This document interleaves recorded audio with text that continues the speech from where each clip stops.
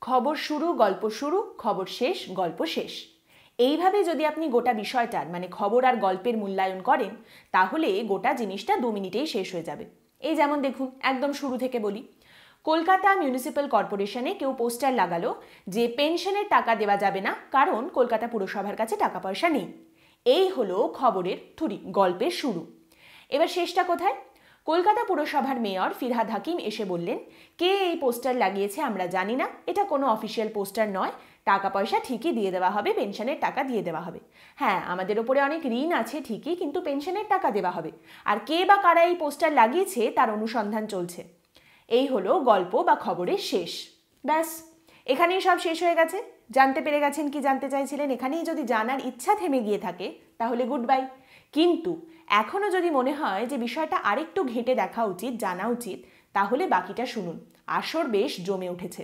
প্রথমেই বলি, যে বা যারা এই পোস্টার লাগিয়েছেন কেএমসিতে যে টাকা দিতে পারবে না পুরসভা পেনশনের টাকা, কারণ টাকা নেই তাদের কাছে, যারা পেনশন পাচ্ছেন না, তাদের গিয়ে এই মানুষটিকে বা মানুষগুলিকে ধন্যবাদ জানানো উচিত। কারণ, এই গোটা বিষয়টা সংবাদ মাধ্যমে আসতই না। পেনশনের টাকা দেওয়া যাচ্ছে না, কারণ কলকাতা পুরসভার কাছে টাকা নেই। এই বিষয় নিয়ে সংবাদ মাধ্যমে তোলপাড় হতোই না, যদি না এই পোস্টার লাগানো হতো। এর আগেও এই ধরনের কথা আমরা বহুবার শুনেছি। দু হাজার একুশের জানুয়ারি মাসেও এই খবর উঠে এসেছিল যে পেনশনের টাকা দেওয়া যাচ্ছে না কলকাতা পুরসভা থেকে। কিন্তু অনেক খবরের মধ্যে সেটা হারিয়ে গেছিল। এবারেও সেটাই হতো। সংবাদ মাধ্যমের নানান মুখরোচক খবরের মধ্যে এই খবরটাও ডুবে যেত যদি না সেই পোস্টারগুলো পড়তো। আগের বছর যেমন এই ধরনের খবর যখন উঠে এসেছিল, তখন বেশ কিছু মানুষ সংবাদ মাধ্যমের কাছে এই কথা বলেছিলেন। যেমন একজন প্রৌঢ়, যিনি নাম প্রকাশে অনিচ্ছুক, তিনি সংবাদ মাধ্যমকে জানিয়েছিলেন, সামনের মাসে আমার মেয়ের বিয়ে। এই সময় চার মাসের বকেয়া টাকা যদি পেতাম, খুব উপকার হতো। আরেকজন বলেন সংবাদ মাধ্যমকে, আমার স্ত্রী ক্যান্সারে আক্রান্ত। আমাকেও ওষুধ খেতে হয়। পাঁচ মাস ধরে পেনশনের টাকা পাইনি চরম সংকটে রয়েছি। এবারেও এই ধরনের ঘটনা সামনে উঠে এসেছে, কিন্তু এটা চাপা পড়ে যেত যদি না পোস্টারগুলো পড়তো। এই পোস্টার পড়ার পরেই কিন্তু সংবাদ মাধ্যমে এই নিয়ে প্রচুর কথাবার্তা, আলোচনা শুরু হয়েছে। এই রকম ভোগান্তি বছরের পর বছরের স্কিম যাই হোক, সেই কারণেই বলছি, যে বা যারা পোস্টারগুলো লাগিয়েছেন, তারা একদিক দিয়ে এই পেনশন না পাওয়া মানুষগুলোকে কিছুটা বাঁচিয়ে দিয়েছেন। কারণ তাদের ইস্যুটা লাইম লাইটে এসেছে। কিন্তু এইটাই একমাত্র আঙ্গিক নয় এই গোটা ঘটনাটার। আরও অনেকগুলো দিক রয়েছে। ফিরহাদ হাকিম দ্বিতীয়বারের জন্য কলকাতা পুরসভার মেয়র হয়ে আসেন দু হাজার একুশের ডিসেম্বর মাসে। সময়টা খেয়াল করবেন, খুব ইন্টারেস্টিং কিন্তু এবং খুব গুরুত্বপূর্ণ। দু হাজার একুশের ডিসেম্বর মাসে তিনি দ্বিতীয়বারের জন্য মেয়র হন। এবং মেয়র হওয়ার পরে ফিরহাদ হাকিম বলেন যে, আমি অত্যন্ত প্রতিকূল সময়ে কলকাতা পুরসভার মেয়র হয়ে এসেছি। অনেক ধার দেনা রয়েছে আমাদের মাথায়। কলকাতা পুরসভা ধার দেনায় জর্জরিত। কিন্তু যা যা করা যায়, আমি সমস্ত কিছু করার চেষ্টা করছি। এবার এইখানে যে প্রশ্নটা উঠে আসে, সেটা হচ্ছে, কেন? কলকাতা পুরসভা ধার দেনায় জর্জরিত কেন? আর কীভাবে? আপনি দ্বিতীয়বারের জন্য মেয়র হয়ে এসেছেন। এর আগে আপনি মেয়র হয়েছিলেন দু হাজার আঠেরোতে, তারপর দু হাজার একুশে আবারও আপনিই মেয়র হয়েছেন। এর আগেও আপনার দলের কাছেই এই মেয়র পদ ছিল। শোভন চ্যাটার্জি তখন মেয়র ছিলেন দু হাজার দশ পনেরো শোভন চ্যাটার্জি মেয়র হয়েছিলেন।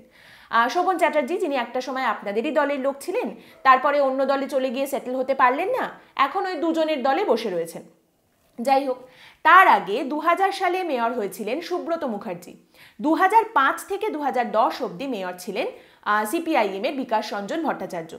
তার মানে দেখতে গেলে দু হাজার থেকে দু একুশ একুশ বছর ধরে কলকাতা পুরসভার মেয়র পদটা একেবারে একচেটিয়াভাবে শাসক দলের হাতে থেকেছে, পাঁচ বছর বাদ দিলে। সতেরোই মে এই বলেই হেডিং পড়েছিল যে, নারদা মামলায় কলকাতা পুরসভার শাসক দলের তিনজন মেয়র আটকে। তো তাহলে আপনাদের যখন হাতে এই দায়িত্ব ছিল এতদিন ধরে ধার দেনায় জর্জরিত কলকাতা পুরসভা হলো কেন আর কীভাবে? যাই হোক, ঠিক আছে। আপনাদের টাকার দরকার হয়েছে কোনো না কোনো কারণে এবং আপনাদেরকে ধার করতে হয়েছে। বোঝা গেল। এই টাকা পয়সাগুলো নিশ্চয়ই আপনার নিজের পকেটে তো যায়নি, আপনি অত্যন্ত সৎ মানুষ। তাহলে এই টাকাগুলো কোনো না কোনো জায়গায় খরচ হয়েছে। তা ঋণের পরিমাণটা কত? ঋণের পরিমাণ সাতশো কোটি টাকা। বেশ শাঁসালো একটা অ্যামাউন্ট সাতশো কোটি টাকা। এইবারে চলে আসুন একদম সাম্প্রতিক ঘটনায়। এই পেনশন নিয়ে যখন ঝামেলা হলো, ফিরহাদ হাকিম এগিয়ে এসে বললেন যে হ্যাঁ আমাদের মাথায় অনেক ঋণ আছে ঠিকই, কিন্তু তার জন্য পেনশন দেবো না, এমনটা মোটেই নয়। কে বা কারা এই পোস্টার লাগিয়েছে আমরা জানি না, তাকে একবার ধরা গেলে তার ক্লাস নেওয়া হবে, কিন্তু পেনশন আমরা দিয়ে দেবো। ভালো কথা। বেনিফিট অফ ডাউট দেওয়া যাক এখানে যে, তিনি পেনশন দিয়ে দেবেন ধারটার থাকলেও পেনশন দিয়ে দেবেন। এবার এই অবধি ঠিক ছিল, কিন্তু এর পরেই তিনি যে কথাটা বলেন, সেইখানে একটা প্রশ্ন আবার উঠে আসে। তিনি বলেন, কলকাতা পুরসভার মাথায় এই মুহূর্তে এক হাজার কোটি টাকার ঋণ রয়েছে। কিন্তু তারপরেও আমরা পেনশন দিয়ে দেবো। এক হাজার কোটি টাকার ঋণ আছে মানে এই নয় যে পেনশন দেওয়া হবে না। এক মিনিট। ডিসেম্বর মাসে আপনি নিজের মুখে বললেন যে সাতশো কোটি টাকার ঋণ রয়েছে কেএমসির ওপরে। জানুয়ারি মাসে এসে দেখা যাচ্ছে সেই ঋণের পরিমাণ হয়ে গেছে এক হাজার কোটি টাকা। এক মাসের মধ্যে তিনশো কোটি টাকার ধার বেড়ে গেছে। এই টাকাটা কোথায় খরচ হলো? পেনশনের কাজে যে খরচ হয়নি সেটা তো দেখাই যাচ্ছে। তাহলে কোথায় খরচ হলো? এই প্রশ্নের উত্তর মেলা অত্যন্ত কঠিন। কিন্তু একটা কথা বলা যায়, এটা কিন্তু একটা অ্যাচিভমেন্ট এক মাসের মধ্যে একটা পুরসভার তিনশো কোটি টাকা ধার বেড়ে গেছে। যাকে খরচ বেশি হলে আমরা কি করি? আমরাও ধারই করি। কলকাতা পুরসভারও সেই ধারই করতে হয়েছে।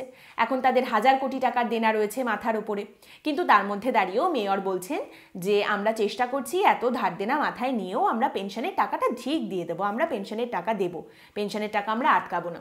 মহানুভব মানুষ, আপনি মহান হৃদয় আপনার, আপনি চেষ্টা করছেন আপনার নিজের এত দুঃখ কষ্টের মধ্যেও এই কর্মীরা যাতে তাদের পেনশনের টাকাটা পেয়ে যায়। কিন্তু এখানে একটা গল্প বলার দরকার আছে। পশ্চিমবঙ্গের বিধানসভা নির্বাচনের আগে কলকাতার মেয়র ফিরহাদ হাকিম, তিনি কলকাতার বিভিন্ন যে প্রকল্পগুলো রয়েছে, কেএমসির আন্ডারে যে প্রকল্পগুলি রয়েছে, তার উপরে বেশ জোর দিয়েছিলেন। বিশেষ করে সেই প্রকল্পগুলি, যেগুলি দীর্ঘদিন ধরে টালবাহানার মধ্যে পড়েছিল। কখনো নির্বাচন, কখনো সংক্রমণ, এই করে এই প্রকল্পগুলো আস্তে আস্তে পিছিয়ে যাচ্ছিল। নির্বাচন শেষ হবার পরে একটা হেডিং বেরোলো বড় বড় করে এবং সেখানে বলা হলো যে সমস্ত শর্ত মেনে আধিকারিকদেরকে এই সমস্ত প্রকল্প দ্রুত শেষ করার নির্দেশ দিয়েছেন কলকাতার মেয়র ফিরহাদ হাকিম। এখন বক্তব্য হচ্ছে নির্বাচনের পরে দেখা গেল তখনও পর্যন্ত এই প্রকল্পগুলো স্লথ গতিতেই চলছে। সেগুলো কিছুতেই তাড়াতাড়ি ছুটছে না। কারণ নির্বাচনের পরে নির্বাচনে জেতা এটা, ওটা হলো। তারপরেই ওই নারদাকাণ্ডে গ্রেপ্তার হওয়া, সেই নিয়ে অনেক দিন ধরে জিনিসপত্র চলল। তারপরে কি হলো, কয়েক মাস পরেই আবার একটা পুরসভা নির্বাচন চলে এলো। সেই নির্বাচনে জেতা হলো, দ্বিতীয়বার মেয়র হয়ে আসা হলো। এইসব করে এই প্রকল্পগুলো অনেকদিন ধরে পিছিয়েই চলেছে পিছিয়েই চলেছে। এইখানে বলে রাখি, এই প্রকল্পগুলো, বকেয়া প্রকল্পগুলোর মধ্যে অন্যতম হলো ধাপার প্রকল্প, যার জন্য সিংহবাগ অর্থ সাহায্য করেছে বিশ্বব্যাংক যাই হোক, তাহলে এখানে যে প্রশ্নটা উঠে আসে সেটা হচ্ছে যে এই যে প্রকল্প যেগুলো বছরের পর বছর ধরে পড়ে রয়েছে, বিভিন্ন রকম টালবাহানা হয়েছে, নির্বাচনে জেতা, জেলে যাওয়া, পুরসভা নির্বাচন, দ্বিতীয়বার মেয়র হয়ে আসা, এই সমস্ত কিছুর মধ্যে দাঁড়িয়ে এই প্রকল্পগুলোর স্টেটাস কি? এই প্রকল্পগুলো কি কমপ্লিট হয়েছে? এই যে এত টাকা ধার নেওয়া হচ্ছে, সেই ধার নিয়ে কি এই প্রকল্পগুলোকে শেষ করা হয়েছে? সেটা তো দেখতে পাওয়া যাচ্ছে না। তার মানে এই টাকা দিয়ে পেনশনের টাকাও দেওয়া হয়নি পুরনো প্রকল্পগুলোও এগোয়নি। এই প্রকল্পগুলো কি আদৌ কোনোদিন শেষ হবে? এই সমস্ত প্রশ্নের উত্তর পাওয়া কিন্তু অত্যন্ত কঠিন। এবার এই প্রশ্নটা কেন করছি সেটাও বলে রাখি।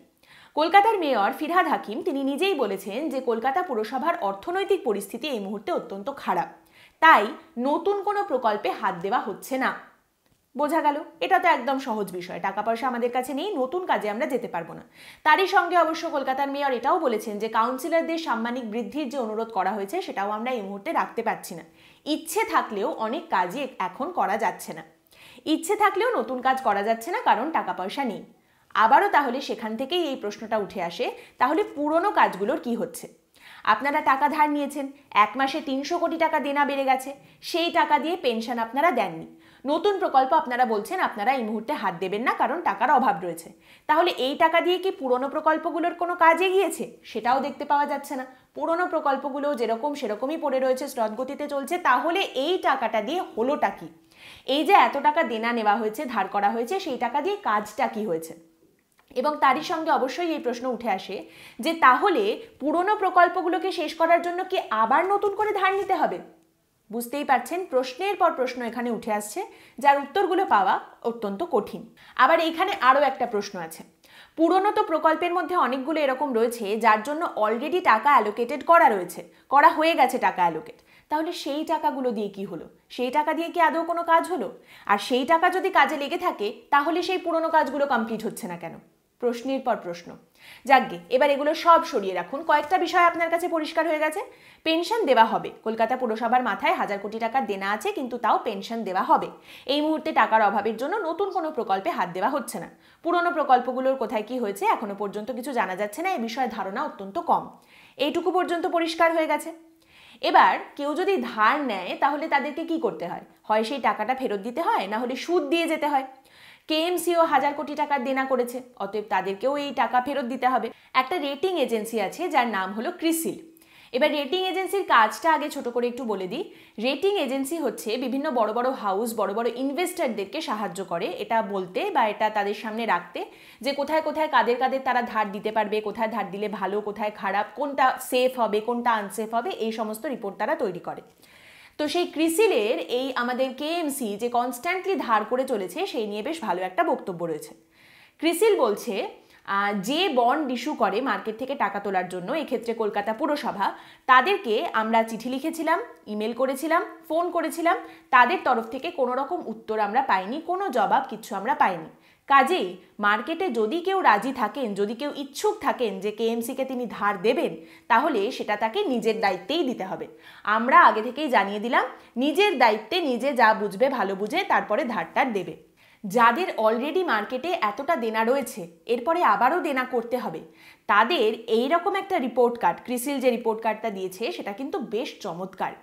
এই রকম একটা রিপোর্ট কার্ড নিয়ে আগামী দিনে বিভিন্ন জায়গা থেকে যদি তারা ধার নিতে যায়, সেখানে খুব একটা সুবিধা করতে পারবে বলে মনে হয় না।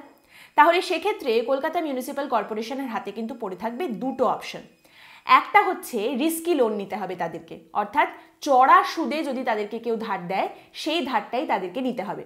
আপাতত তারা বলে দিয়েছে এই মুহূর্তে লজ্জা থেকে বাঁচার জন্য যে পেনশন তারা বন্ধ করবে না। তাহলে পড়ে থাকছে দ্বিতীয় উপায়টা কি? দ্বিতীয় উপায় হচ্ছে নতুন চাকরিতে নিয়োগ বন্ধ করে দিতে হবে। কলকাতা মিউনিসিপ্যাল কর্পোরেশনে নতুন কর্মী নিয়োগ করা হবে না। কিন্তু সেখানেও একটা অসুবিধা আছে। কলকাতা মিউনিসিপ্যাল কর্পোরেশনে অনেক ক্ষেত্রেই দেখা যায় যে নিচুতলার কর্মীরা যারা রয়েছেন, সেটা একটা পাড়াতুতো সেটেলমেন্ট মানে নির্বাচনে কোট আনকোট ওই ছেলেটা বা মেয়েটা কাজ করেছে, সাহায্য করেছে, এইটা তার কাছে একটা পুরস্কারের মতো, তাকে একটা রিওয়ার্ড দেওয়া হলো। কাজেই সেটাও দুম করে বন্ধ করে দেওয়া যাবে না। সব মিলিয়ে একটা সুন্দর জগা খিচুড়ি। তাহলে উপায়টা কি? রাজ্য যেভাবে চলছে, পুরসভাও সেইভাবেই চলছে। নিজেদেরকে কোনো রকমে বাঁচাতে তারা ধার নিচ্ছে। ধার নেওয়ার ফলে কি হচ্ছে? জল থেকে এক ইঞ্চি উপরে তারা নাকটাকে কোনো মতে ভাসিয়ে রাখতে পারছে। এইবার জলটা এক ইঞ্চি ওপরে উঠে গেলেই ব্যাস সখাত সলিলে। আজকের এই পর্ব সম্পর্কে আপনাদের মতামত কমেন্টের মাধ্যমে আমাদেরকে অবশ্যই জানাবেন। পরের দিন দেখা হবে একটি নতুন বিষয় নিয়ে আলোচনায়। হঠাৎ যদি উঠল কথার জয়েন বাটন ক্লিক করে আপনারা এখন হঠাৎ যদি উঠল কথার মেম্বার হতে পারেন। জয়েন বাটনটা ক্লিক করে আপনারা আমাদের আবেদনের ভিডিওটি দেখুন। সেটা দেখার পর যদি মনে হয় আর্থিক সাহায্যের মাধ্যমে আমাদের পাশে এসে দাঁড়ান, হঠাৎ যদি উঠল কথার মেম্বার হন। আপনাদের সকলের প্রতি আমরা কৃতজ্ঞ, অসংখ্য ধন্যবাদ আমাদের এই পর্বগুলি দেখার জন্য, আমাদের পাশে থাকার জন্য এবং আমাদেরকে উৎসাহিত করার জন্য। ভালো থাকবেন।